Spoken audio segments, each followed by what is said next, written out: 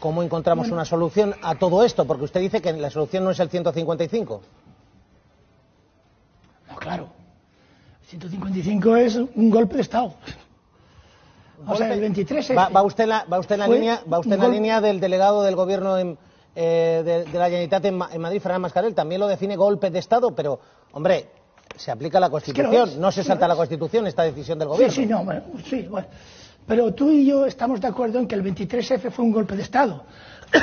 y en el 23F no solo intervinieron los militares, también fue traída a colación la, Constitución.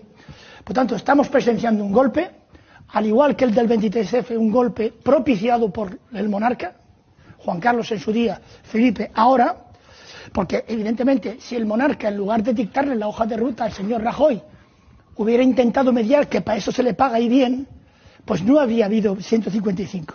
Yo te he dicho hace unos días que este 155 no nace solamente de la Constitución de Bonn, alemana, nace también de la Constitución de Weimar.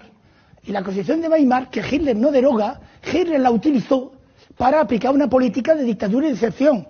Y esa es la famosa ley de abril de 1933 sobre comisarios del Reich, que permite a Hitler destituir parlamentos autonómicos, gobiernos autonómicos, jueces y funcionarios. Si nos suena, es evidente que hay un gran paralelismo y en lugar de intentar negociar, que era lo que tanto costaba aplazar, por ejemplo, una propuesta de aplazar, por ejemplo, el referéndum un año o dos, en tanto se reformaba la Constitución, en lugar de seguir la vieja práctica española centralista de para tener paz cada 30 años hay que bombardear Barcelona. Jorge, eh, profesor, No, entonces lo que, lo que me estás planteando es, tu planteamiento es un referéndum en uno, dos, tres años y en ese tiempo llevar a cabo un proceso de reforma profunda de la Constitución del 78? Sí, sí, exactamente. Pero es que eso no se ha propuesto. O sea, es increíble.